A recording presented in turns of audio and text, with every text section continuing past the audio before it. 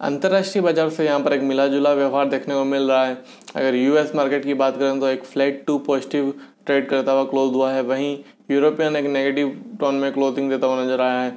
अगर Asian market की बात करें तो वो भी कहीं ना कहीं एक फ्लैट टू पॉजिटिव ही ट्रेड करता हुआ नज़र आ रहा है।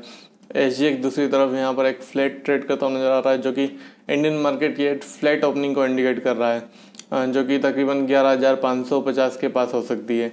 अगर यहाँ पर कल के सत्र की बात की जाए तो कल जैसे कि हमने देखा, निफ्टी एक नेगेटिव ओपनिंग देकर फिर पूरा दिन रेंज बाउंड ट्रेड करता हुआ नज़र आया और क्लोजिंग जो दिखाई है फ्लैट क्लोजिंग दिखाई है ग्यारह हज़ार पाँच सौ पचपन पे। कल फार्मा और रियल्टी काफ़ी अच्छा परफॉर्म किए थे मार्केट को स्टेबल बनाने के लिए। वहीं अगर सपोर्ट एंड रेजिस्टेंस की बात की जाए आज के सत्र के लिए तो निफ्टी का जो इमीडिएट सपोर्ट रहेगा वो आएगा ग्यारह हज़ार पाँच सौ के लेवल का। वहीं ऊपरी स्तर पर जो रेजिस्टेंस बनता है निफ्टी का वो आता है ग्यारह हज़ार छः सौ बीस का। तो आज यहाँ पर निफ्टी में एक बाउंस की सलाह दी जाएगी, जैसे कल हमने दिया था, ग्यारह पाँच सौ अस्सी के पास आप सेल कर सकते हैं। स्टॉप लॉस रहेगा छः सौ बीस का और नीचे के टारगेट के लिए पाँच सौ अस्सी के।